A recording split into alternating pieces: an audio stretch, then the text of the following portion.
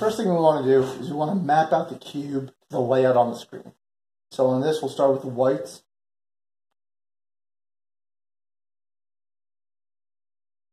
And then we'll twist it to the next side, and we'll go.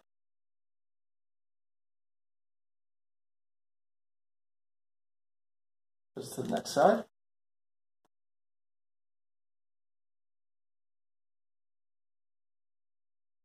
Twist it to the final side.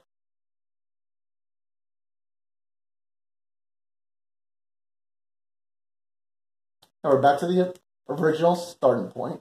So we got to map this, the top.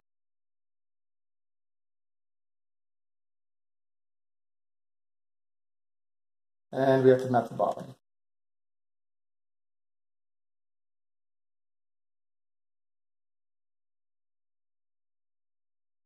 So we hit solve now. We'll see. This is our colors. And let's see what we have to do. First, you have to move it up. And twist it like that. Do it again. This to the side.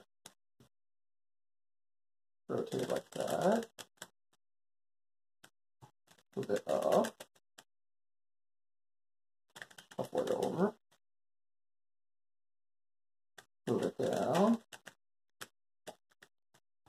and we're solved.